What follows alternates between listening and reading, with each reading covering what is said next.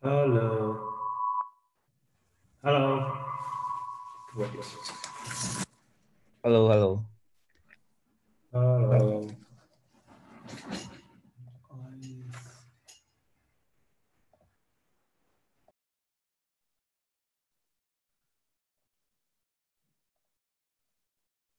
Hello. Hello. Oh, I think now it works. Any problem? Any problem while hearing me? Hello.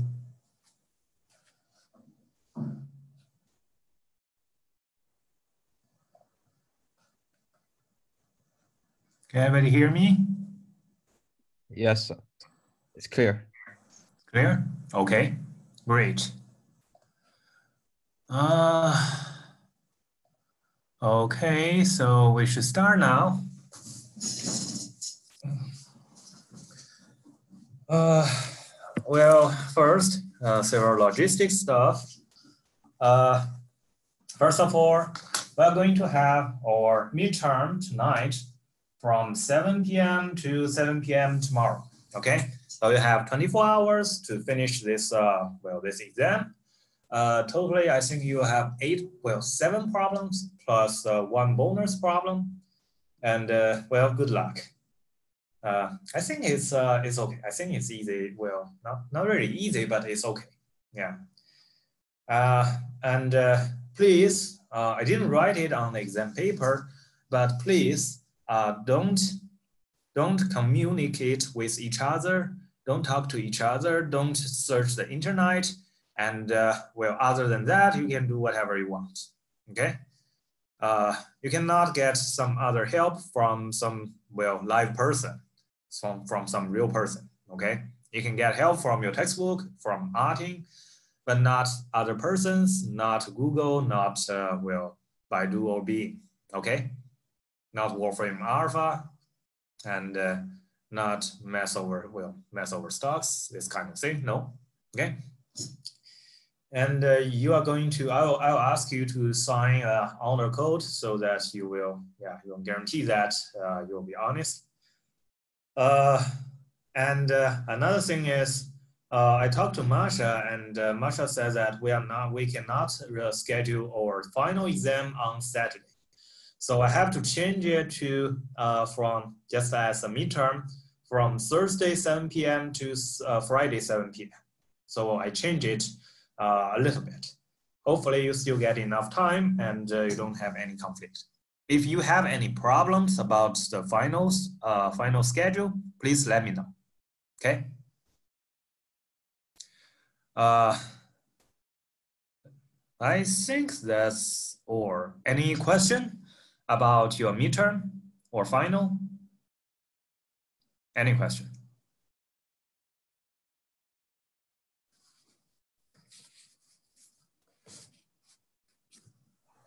Um, with the were the questions in uh, like bonus homework covered? No, no, no. Bonus homework is still bonus homework, right? So I will not assume you know anything about your bonus homework. I will not assume anything, uh, you know, anything about UFD or Euclidean domain or this kind of thing. Okay. But of course, we mentioned the PID yesterday, well, on, on Tuesday. So uh, well, I assume you know what is a principal ideal domain. Okay.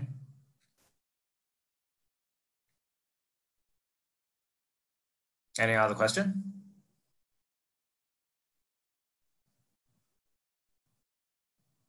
No? Okay, so let's start for today's class. Uh, just to remind you, last time we discuss about, well, the, the ring homomorphism. The ring homomorphism, and uh, we discuss a very important stuff that is, that is, uh, well, the first isomorphism theorem, which is, suppose you have an onto map, a surjective, phi from R to S, two rings. Phi is a homomorph, well, ring homomorphism. Then uh, what you do have is, then what we do have is, well, uh, if you use R modulus this kernel of phi, it is, well, isomorphic to S. Okay, and uh, today first uh, let, let me finish this part and tell you what is, uh, well, we have the first isomorphism theorem, then I'll tell you what is the second and third isomorphism theorem, okay? First, let's see what is the second isom well, isomorphism theorem.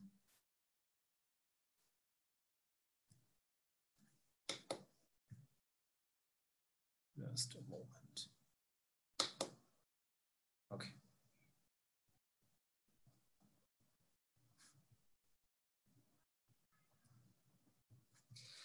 Okay. Uh, for the second isomorphism theorem, it basically tell you something about uh, well the operation. The first one tell you uh, well the operations or the isomorphic of uh, of between rings. The second one tells you something about the operations between ideals and do the homomorph homomorphism. That is, well, suppose you have a ring, commutative ring.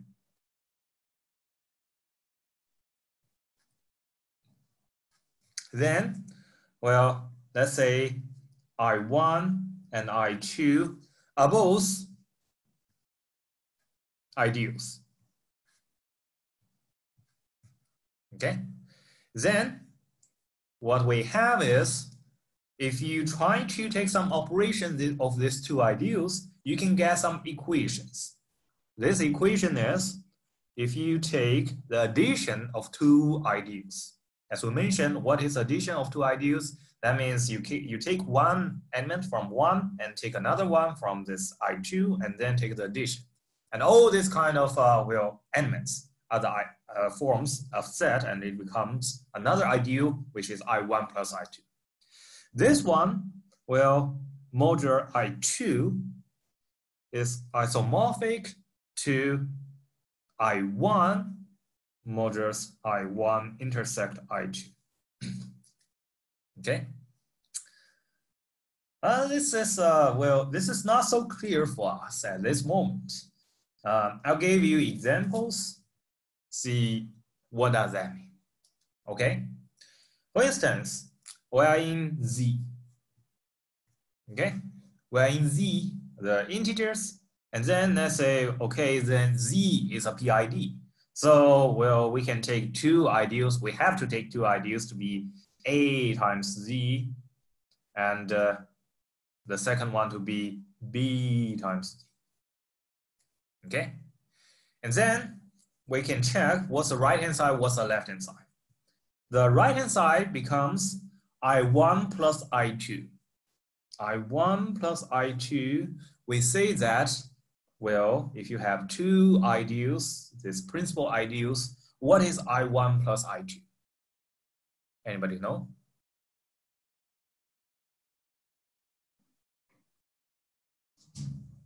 Anyone?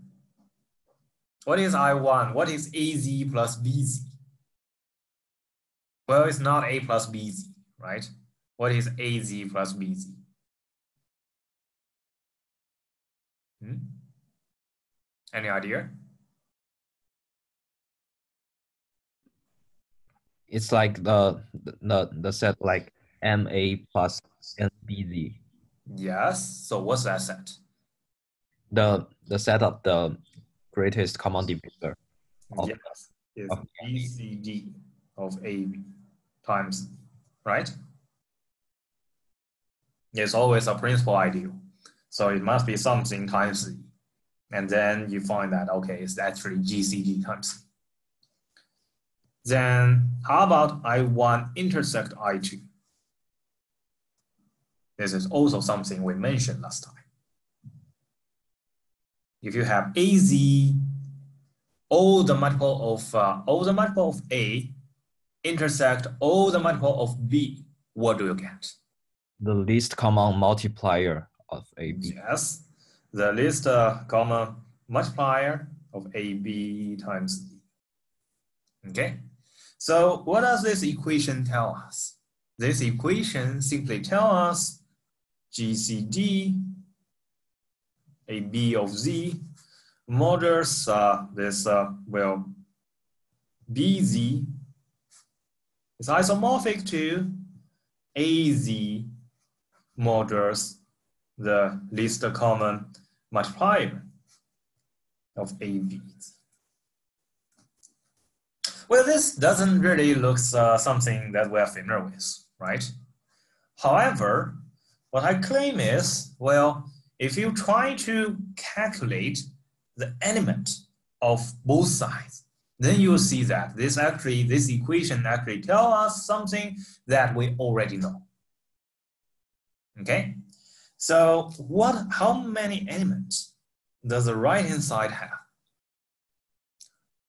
Well, the right-hand side, if you do not have this GCD, if it is Z over BZ, then that means ZB, right? On ZB, it has only B elements. But now it becomes GCD ABZ over BZ. Then how many elements do you have on this quotient ring?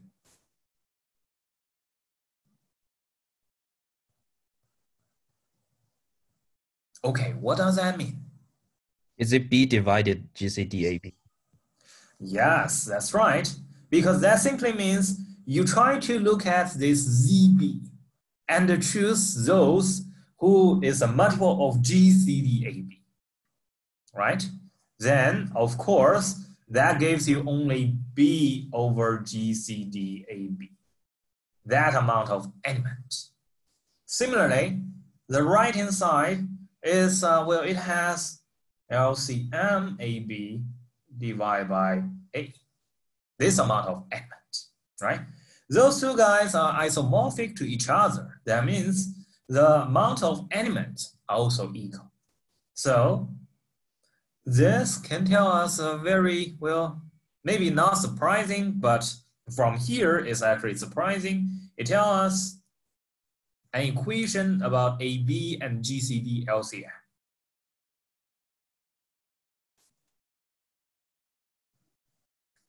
Okay, so A times B is actually equals to the greatest common divisor times uh, of AB times the least common multiplier of AB.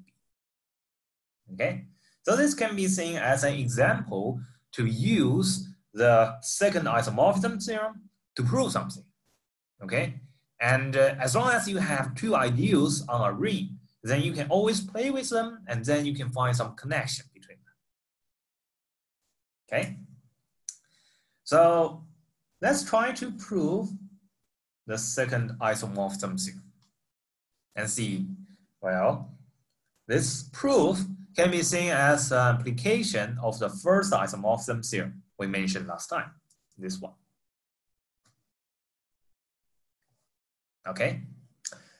Uh, so if you want to use the first isomorphism theorem, then probably you want to have some idea, well, some, some kind of ring for instance, this one or this one, and then you find a map from this one to this ring or from this I1 to this ring. Then you try to find the kernel, which will happen to be this one, then you are done. Okay, so that's trying to prove that if you set up a homomorphism from I1 to I1 plus I2 over I2, then you may find this homomorphism is an onto and the kernel is exactly I1 intersect I2. Then by the first isomorphism theorem, we are done. Okay, let's try to build this uh, well phi. This phi is actually a canonical phi, which is, uh, well, it has to be like that and you don't need to do any trick on this. So let's see. So phi it shifts from I1 to I1 plus I2 over I2. So this is a quotient ring, right? If it is a quotient ring, then probably will eventually you will get some equivalent class, equivalent class on I1 plus I2, right? So how can we use, uh, how can we make this map? For instance, if you have an A in I1, then what, what should be the image of phi A? Well, it should be first on I1 plus I2. Second, it should be an equivalent class. So which means the easiest one we should find is A plus I2. Here, A plus I2 is what? Well, A plus I2 is just a, a shortcut of A bar, which is the equivalent class with representative element A on this quotient. Okay, I'll use this notation to denote this uh, well equivalent class of the quotient ring. And uh, then you do have a homo, well, you do have a map from I1 to I1 plus I2 over I2. Okay? Then the next question is, you have to show first it's a homomorphism, second is uh, an onto homomorphism, and third is kernel is equals to I1 intersect I2. Right? So first, well, it is an homomorphism. This is pretty easy to check.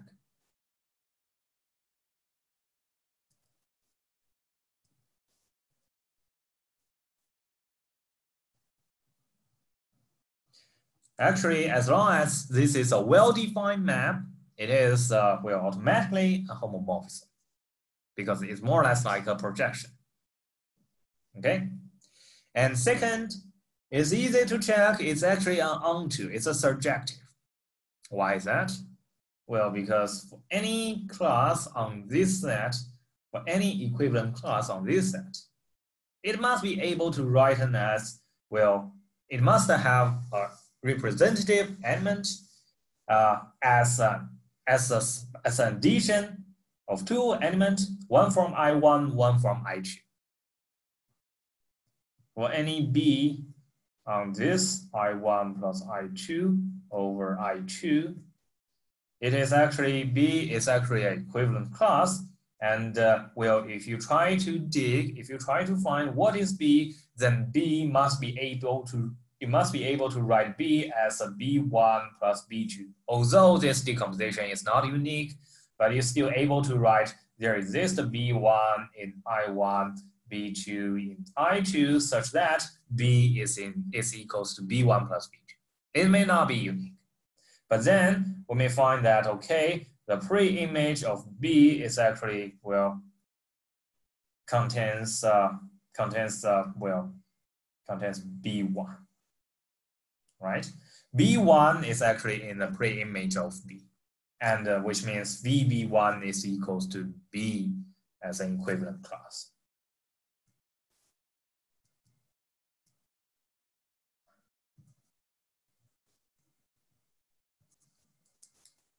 Okay, so phi is out. It's a surjective. And the last thing is you have to find what is the kernel of phi. So what is the kernel of phi? Let's say C belongs to the kernel of phi. Then first, we know that C must be in I1, of course, because you are in I1. Okay, and second, well, phi C is equals to 0 plus I2. That means C must be in I2 as well, right? So that means, okay, C is in I1 intersect with I2. Then we are done. By first isomorphism theorem, well done.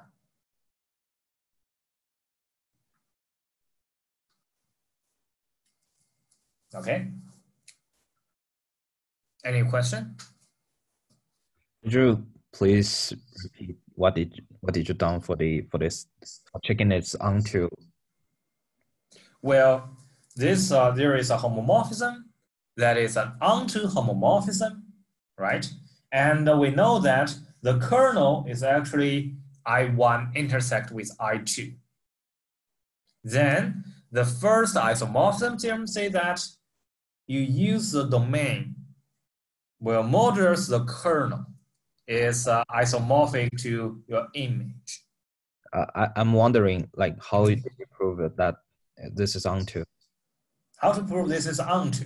So you see, for any B, any equivalent class B on this set, right? We we can choose a representative the element B such that it's equals to B1 plus B2, where B1 is in I1 and B2 is in I2. This is the definition, right?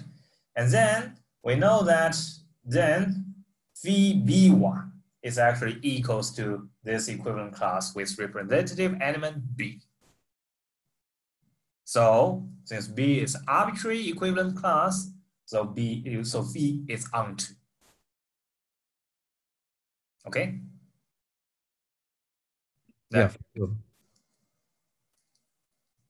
Any other question? Any other question? Mm -hmm. So if no more question, then let's move on. This is for the so-called the second isomorphism theorem. It's uh, it can be seen as application of the iso well, of the first isomorphism theorem. But of course, we will have the third one. It is so-called the third isomorphism theorem.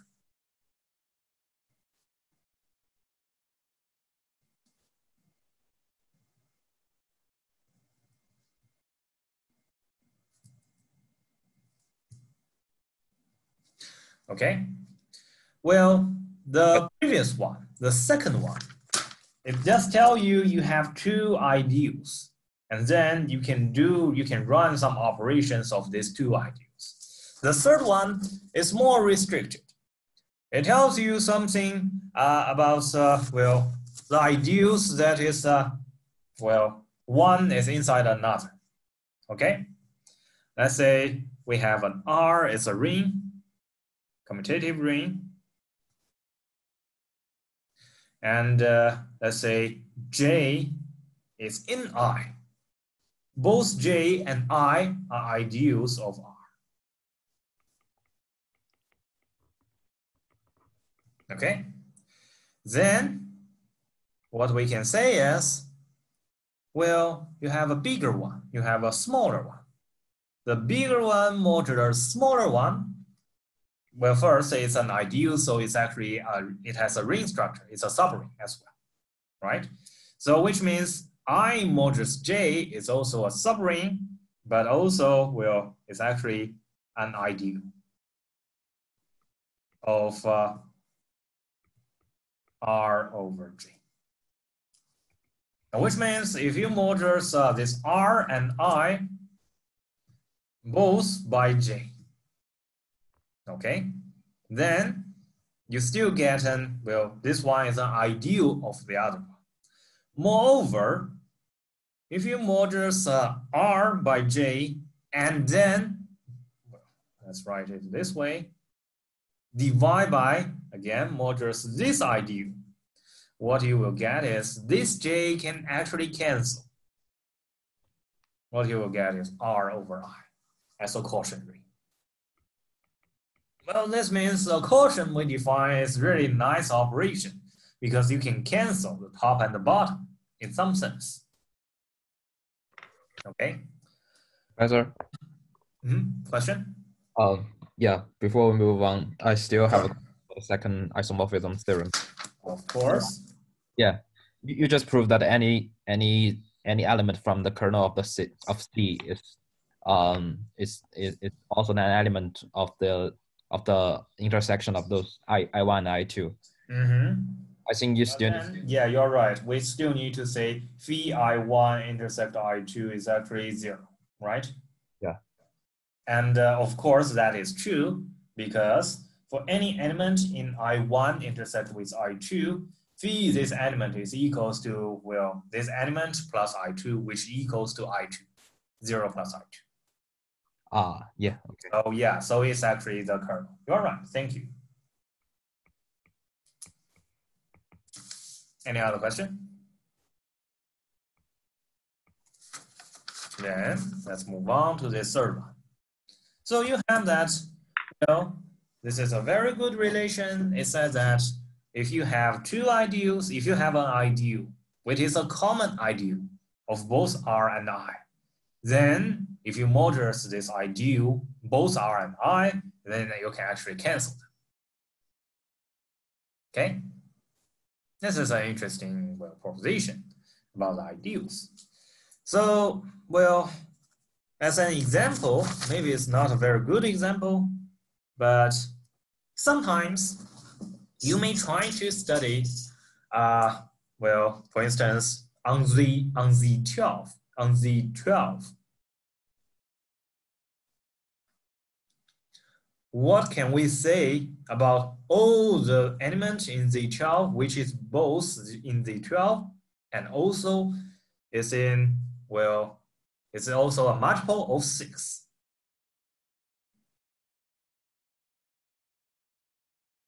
Uh, sorry. Uh, let's uh, write it this way. The 12 divided by the, well, 6z quotient, well, 12z.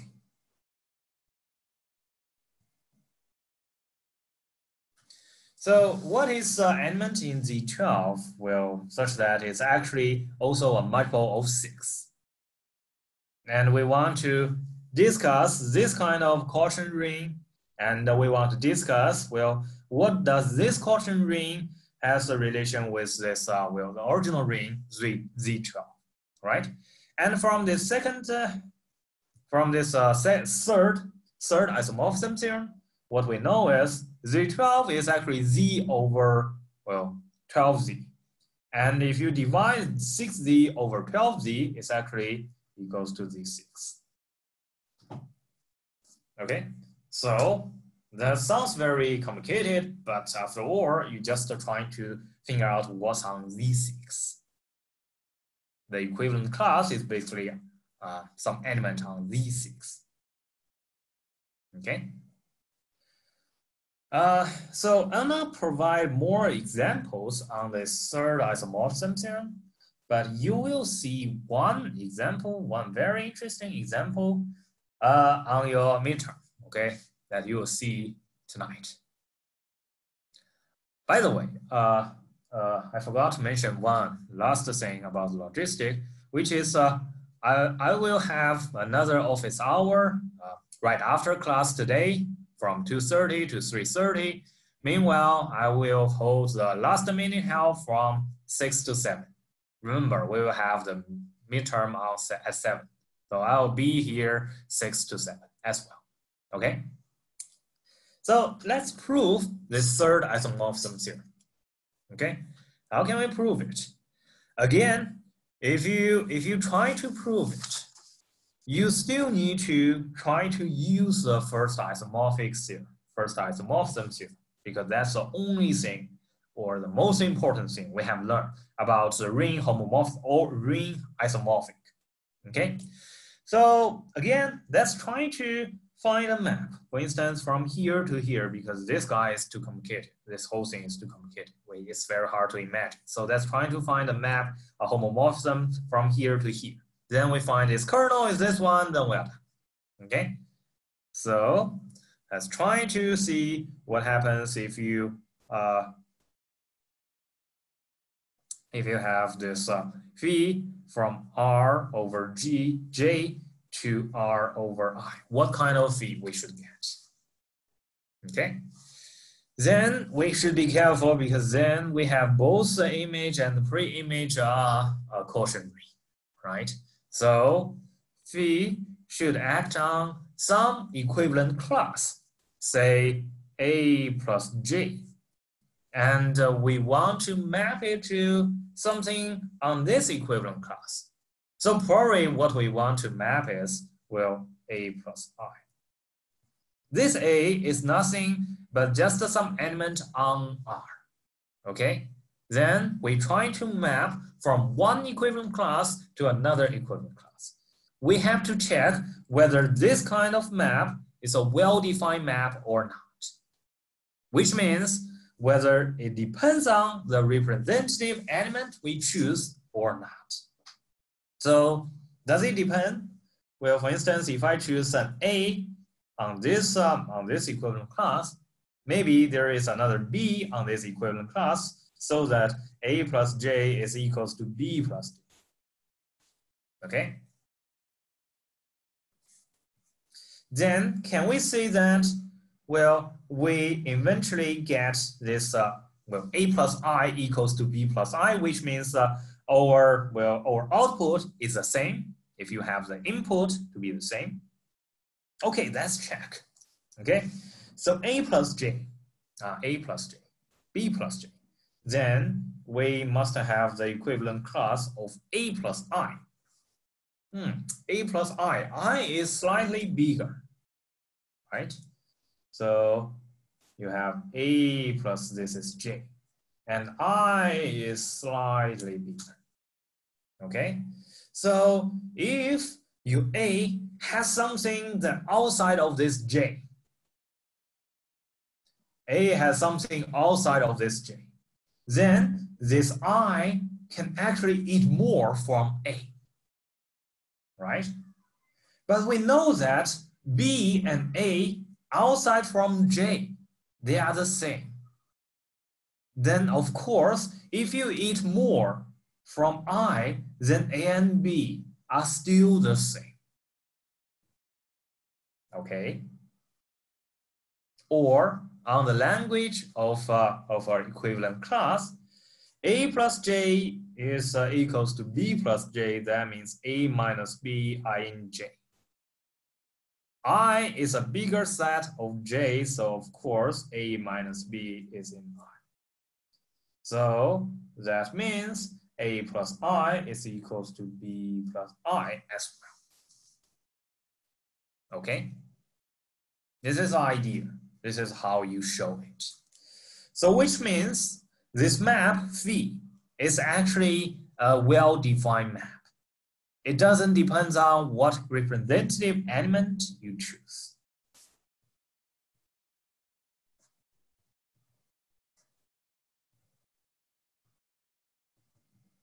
Okay. So phi is well defined. Then how about well whether phi is a homomorphism or not? Well, you can check that. It's easy to check. Phi is also a homomorphism. Well, this is really easy because uh, this is only something like a projection. Okay. And the uh, last thing, well, then the next thing is we have to check phi is onto. Well, how can we check phi is onto?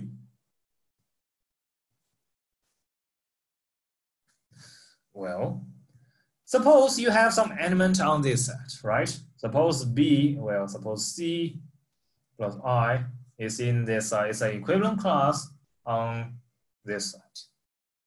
Okay, then we know that C, well, is a, C is an element in R, right? Then, of course, we can put this equivalent class, well, we can map this C plus J, this equivalent class to C plus I.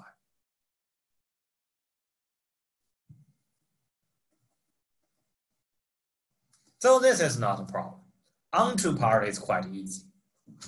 Then the last thing we need to check is uh, we need to check this map has a kernel, which kernel is I over J. What is the kernel of? Well, so let's see, what can we say about the kernel of, of phi? If you have an element, let's say D is in the kernel of phi, then first D is in R over J, right? D is actually uh, D plus J. But meanwhile, what we do know is phi, if you try to map D plus J to D plus I, then that means D is also, well, inside of this uh, D is also inside of this I. Okay. So that means, okay, this D you can think is actually in this uh, equivalent class as well. Right? Because your D, your representative element is in I. Then of course, D is in this I over J as an equivalent class of J. I equivalent class of this I over J. Right? So we are done.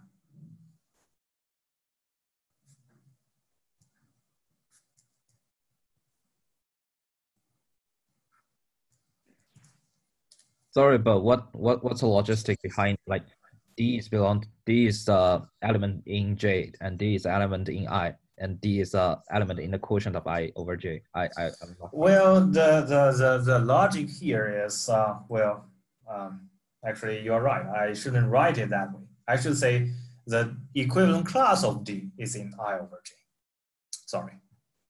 You see, the equivalent class of D is uh, D plus J D is an element on R, okay? And then we know that D is also an element in I. So of course, the equivalent class, the equivalent class of D is actually in this I over J. Okay, is that clear? Is that clear? Mm. Well, I was thinking about it. Mm-hmm. So, so you, you have to figure out, well, what's the difference between an element on this ring and an element on this quotient ring, okay? An element on this ring means, uh, well, you are, you are element, right? But an element on this quotient ring, that means it is the equivalent class, okay? And then for this equivalent class, if this representative element have some property, then we can say that, okay, it's in a smaller equivalent class. Okay, by definition. So this third isomorphism theorem, it just tells you, okay, if you have more conditions on two ideals, like this condition, one is a subset of another, then you can actually do more, more than the second one. Okay, we can compare that.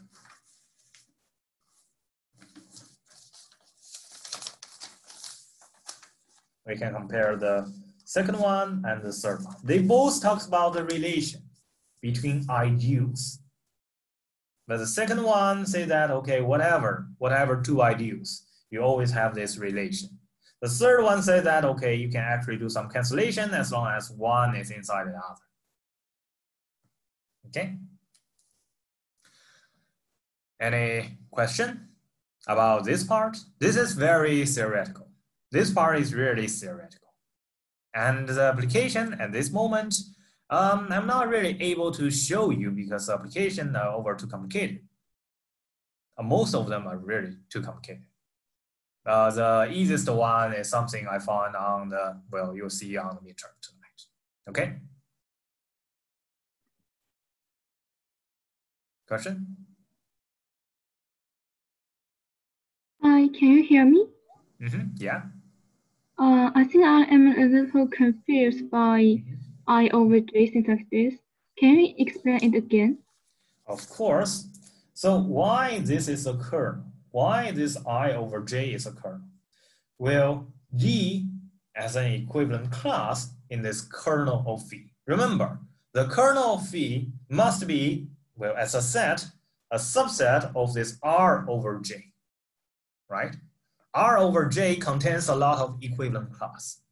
So the kernel of phi contains a lot of equivalent class, which we write it as a D plus J, right, as an equivalent class okay? Uh, if this is really hard for you to, to think about, maybe you can also think, what is J? J, let's say it's, uh, well, I, I is uh, 3Z, okay? J is 6Z.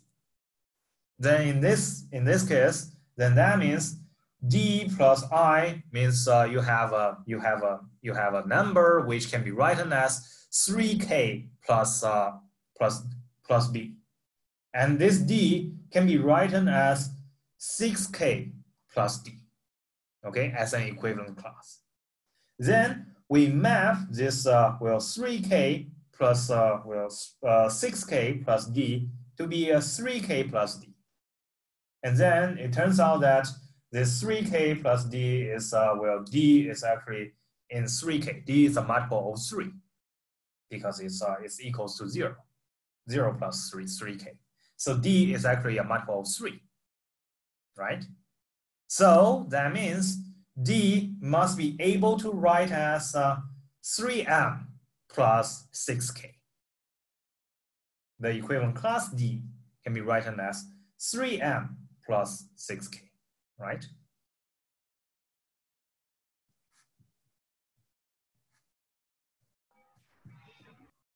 Or on the other word, well, D as an equivalent class is in I over J. It's not the whole ring over J. It's not the whole ring as a, as a whole ring will uh, divide by J and you get some equivalent class, but it's some, something very restricted. It's not everything over J, but something very restricted over J. Because the representative element, you know that is in I. Okay? Any? Okay. Mm -hmm. Think about it, and uh, okay. Thank you. Mm -hmm. Try to think about it, and uh, well, any other question, or you want me to well to explain it again? This part I agree is very confusing. Yeah, because you have to be very clear about what's the meaning of the quotient of the ring. and you must be able to figure out what is the element of such kind of thing. What is the element of this? And what's the difference between the element on this ring and on this ring? Okay? The whole thing is R. And uh, you have something smaller, which is I. And then you have something smallest, which is uh, J. Then R models J then of course it has a equivalent class subset, which is I over J. Okay. In some other words, this kind of uh, quotient of equivalent class It's more or less like a subtraction or something like that, although it's not really. Any other question?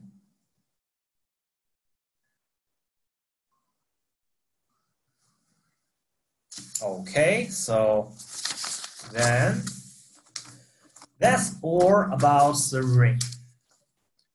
Ring, I have to say, the ring theory uh, on this uh, abstract algebra is actually something if you don't uh, talk about the uh, field split, splitting field and field extension, um, it's not really the something, it's not really something hard, I have to say. It's not something really hard in abstract algebra.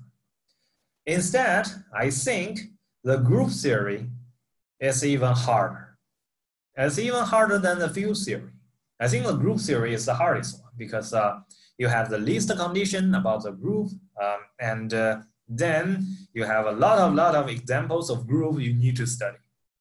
So today, uh, the rest of today's class, I will briefly introduce what is a group. Okay, the definition of groups, and I'll provide you a lot of examples of groups, which might be quite important in your future study. Because group is something that is really useful. You can see that ring for ring theory is basically talks about uh, the polynomials and integers and the factorization, this kind of thing. But for, well, so it's not relevant to the real life. But for group, it's really, really useful. You can see, okay? By the way, so for the midterms, I'll not talk about, well, I'll not assume you know anything. Well, I'll not test anything on group okay? So only ring theory. So the rest of today's class will not be on the exam, today's exam. Question? Yeah, so for the group part, uh, first, uh, we will not mention too much on the group. And the second, it will not, uh, well, if, uh, if, if I use something in the midterms, I will, I will explain it to you, or I will, I will, I will, I will be sure that you know that. It's something pretty basic, okay? But whatever, let's see, what is a group? You can see that in today's lecture, we don't have a lot of thing about groups. But as let's see, what is a group? Group, it has, is actually something simpler than, well, simpler than the rings. It has a simple, it has a simpler structure. What I'm going to say is a group is actually a ring. It contains two operations, right? But the group it only contains one operations and we will concentrate on this one operations. Let me first write down the definition of groups. A group is a set G, represents the group which closed under an operation For the group, we always use some multiplication. Or if you do want, you can also use addition. But uh, we don't really use addition in general groups. Because in a group, we don't assume that it's commutative. This operation is commutative.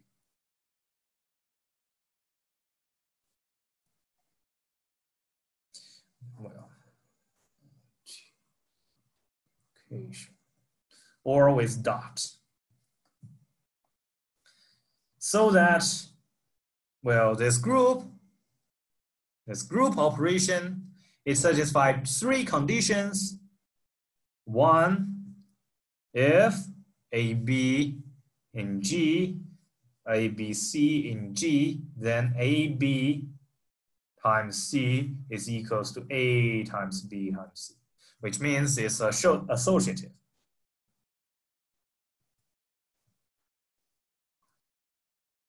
This is very important. Otherwise, we cannot work. And second, if you consider a group, then this, uh, well, this operation, this multiplication, it must have an identity element.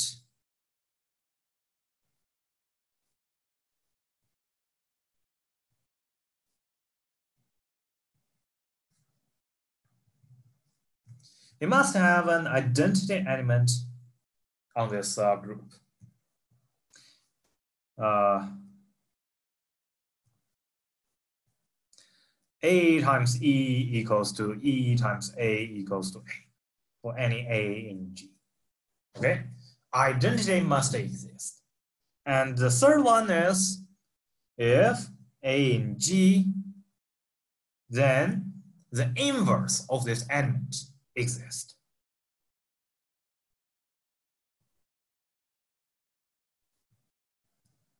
we use A inverse because we use multiplication, so it's A inverse, inverse of G, or inverse of A, satisfy A times A inverse equals to A inverse times A equals to A. Okay? Uh, remember, we have to we have to do this two sides. Otherwise, uh, well, it's not complete because we don't assume that this G, this uh, multiplication commune, commune, commutative, okay? But if this, uh, well, this uh, multiplication commutative is commutative, we call this G abelian, well, named after Abel. If A times B equals to B times A, or AB in I think I already know who is Abel, right? He's, a, he's also a very famous mathematician, just like the Galois. Although he's a little bit older than older than Galois, but still he's pretty young. I think he have this kind of result just uh, well maybe couple years older than you. He built the, this foundation of abstract algebra, this group theory. Okay, so this is basically the definition. It's quite simple. You have an operation on a set. This operation is associative and uh, it has an identity element. Every element has an inverse. That's enough. Then we will have a group. Uh, and by the way, so in the future, you may also uh, you may also see some other kind of uh, well group, not really group. For instance, if you do not have this kind of uh, uh, well, yeah, let's uh, let's ignore that. I think I, I shouldn't mention this because that will be uh, whole day. Okay, so basically, this is uh, these three conditions form the definition of group. Okay. That's, ask a question? Sure. So, in the definition, is it an operation defined, or the operation need to be specifically the multiplication? Well, this operation is some operation, and we name it as a multiplication. Okay, so it's not necessary to be on the number uh, on the number set, and then you define its multiplication stuff. You can define this kind of uh, weird multiplication whatever you want. Okay, and we just name it as multiplication because it's not commutative. So the multiplication can help us to remember that it's not commutative. And uh, the inverse is easier for us to write, right? A inverse in that case, can we like say something like, can we just say like, uh, we define addition to be multiplication and like, yes, of course. But the reason why we don't want well, we we don't want to use addition in this uh, in this notation is simply because if you use addition, then probably you want to say this group is a abelian. If you have a abelian group, then sometimes we call this multiplication to be addition. Okay, to use this notation to represent it, this uh, operation on this group. But other than that, it's, uh, well, we always use a dot instead of plus to denote this operation. Okay, this is just a notation, nothing more than that. You can use whatever you want. Just make sure that everybody agree with you and everybody follows you. Okay.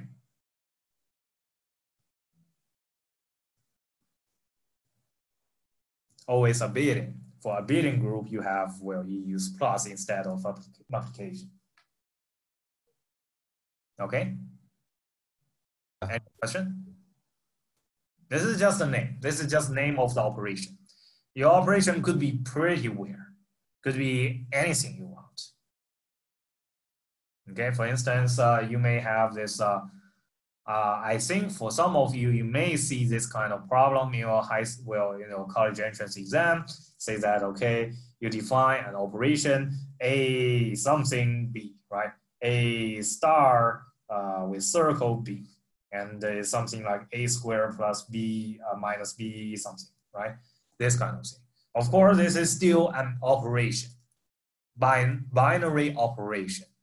And uh, we can define to write it as something really weird, but after all, it's just one operation. We can call it multiplication if you want, as long as it, it satisfies this kind of operations laws. Otherwise, we don't really want to call it a multiplication. Okay? So, let's see some examples. This would be an interesting part. Uh, for instance, well, uh, the one of the good example is, uh, for instance, you may try to study the symmetric group of a set.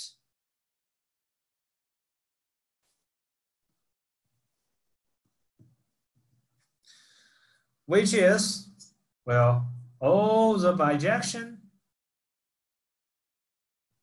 uh, let's say a set S on S from S to itself and uh, well, this, this, this, all this kind of uh, bijection form a group.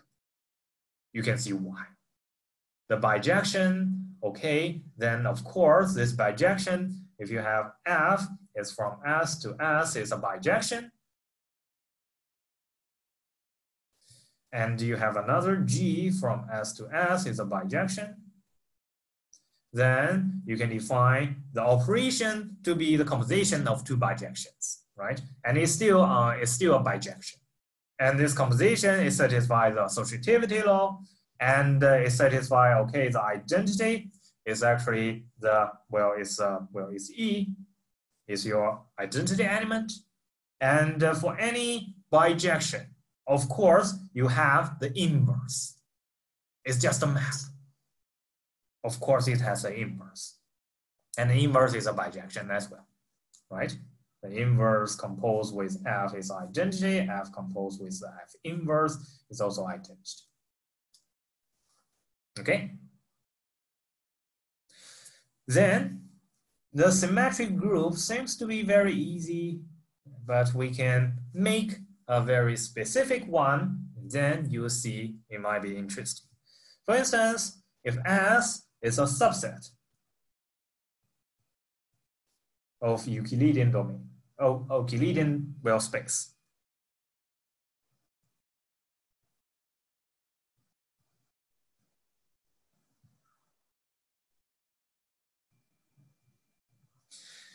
And then a symmetric of S is actually a motion.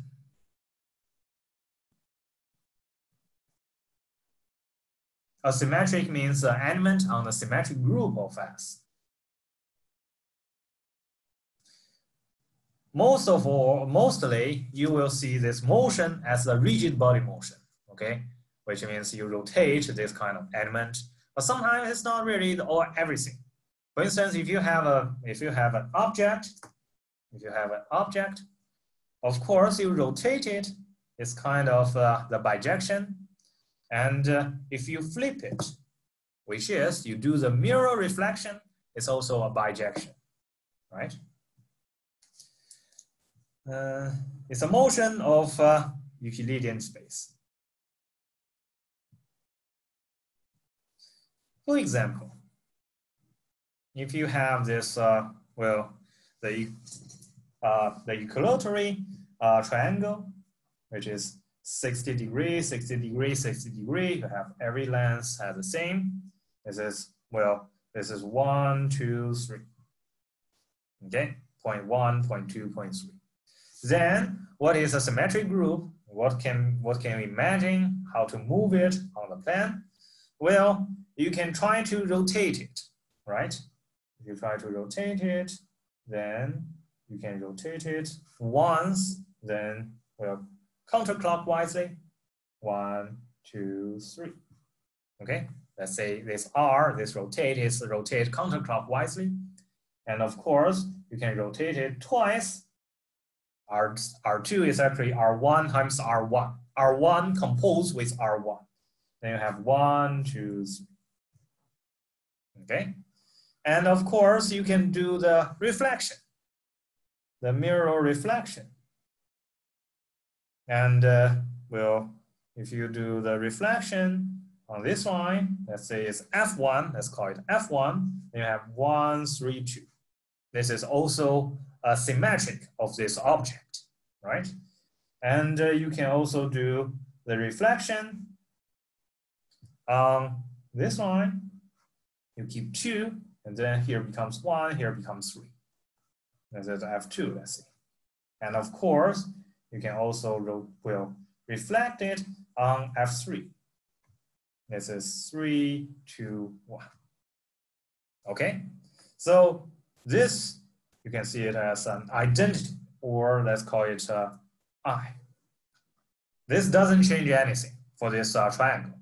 This, you rotate this triangle this one, you rotate this triangle twice. This one, you do the reflection. This why I also do a reflection. That's why I do a reflection.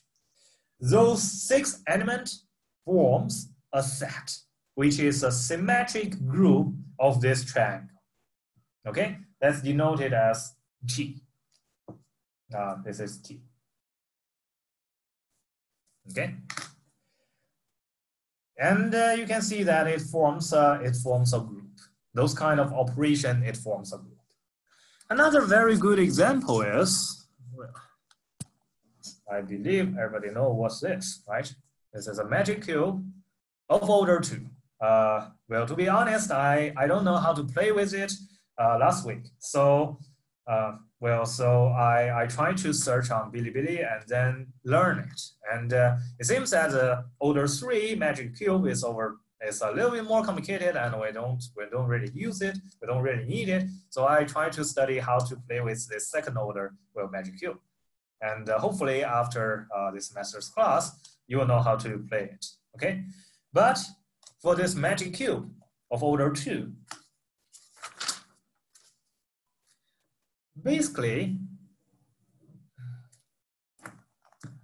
what you can do is you can fix it like well, this is cube one, this is uh, cube number one, number two, number three, number four, and uh, number six. This is number six. This cube is number six, seven, uh, one, two, three, four, uh, one, two, three, four, five, six, seven, eight. Okay, so you can you can try to draw a cube and then on each edge, it just represents one, well, one small cube of this order two magic cube, right? Let's say it's one, two, three, four, and uh, five, six, seven, eight. Okay, there are eight cubes. Then for this guy, for this magic cube, what we can do is we can do, there are a lot of operations that can keep this position uh, that can be seen as a bijection. For instance, you can rotate this side, the right-hand side, well, counterclockwise, right? Let's say it's R, which means you rotate this one counterclockwise, or you can rotate it clockwise. Let's say it's R inverse, or R prime, whatever you want. And you can also rotate the left-hand side well, counterclockwise or clockwise, right? And uh, that is L and L inverse, okay? And also, well, you can rotate the top, the upper, the upper, the upper side, well, clockwise uh, or counterclockwise. And the bottom, you can also rotate the bottom clockwise, how is that clockwise? Oh, that's counterclockwise or clockwise. Okay. So this kind of operations are the, well, most basic operations on this second order magic cube. Okay. And uh, then what you can do is you can play this kind of operations and then you do some composition of these operations and then what you can do is you can somehow well makes it back to this uh, this kind of uh, well this situation.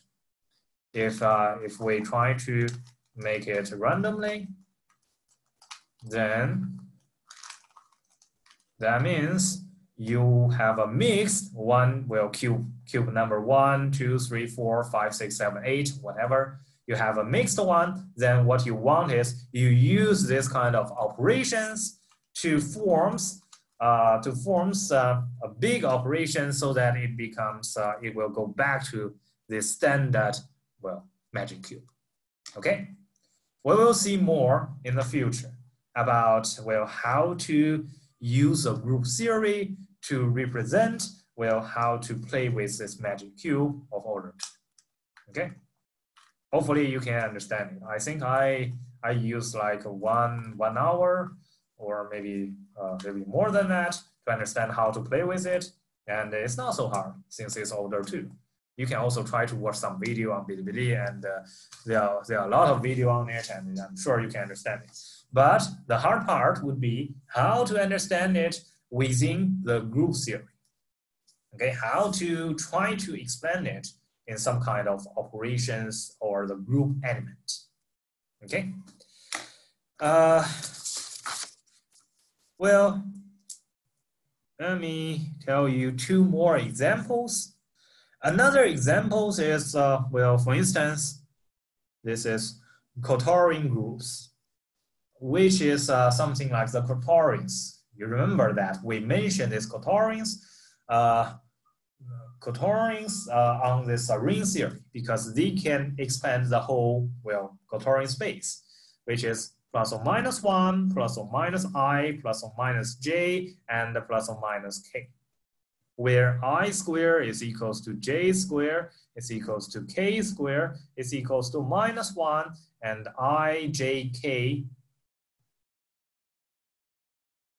it has this well this directions operation which means i times j is equals to k and uh, k j times k is equals to i k times i is equals to j but if you reverse them then j times i is equals to minus k k times j is equals to minus i, and uh, i times k is equals to minus j. And it forms a group. Meanwhile, it's a non-abelian group, right? The multiplication is not commute. By the way, for this kind of operations, for the magic cube, it's also not well, it's not also non-abelian. Otherwise, uh, well, the world will become much much easier the magic cube will not become a super hard problem. Well, at this moment, it's actually hard for me, but if it's a abelian group, then, well, we don't need to worry about it anymore. Uh, another good example is, well, so-called the permutation, the permutation group. Permutation group of set A. For instance, I gave you a, an, a set A, which is, uh, well, apple and orange. Then you change apple to orange, you change orange to apple.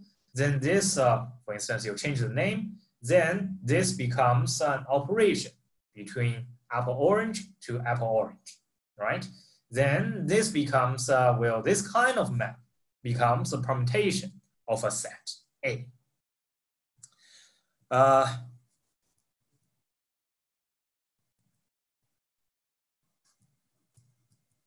Well, uh, in this kind of example, we always set A to be some discrete set. For instance, if A equals to 1, 2, until n, there's n letters or n numbers, then the symmetric group of A or the permutation group of A, we call it the symmetric group, well, the symmetric group of order n, or the symmetric group on n letters. Sn.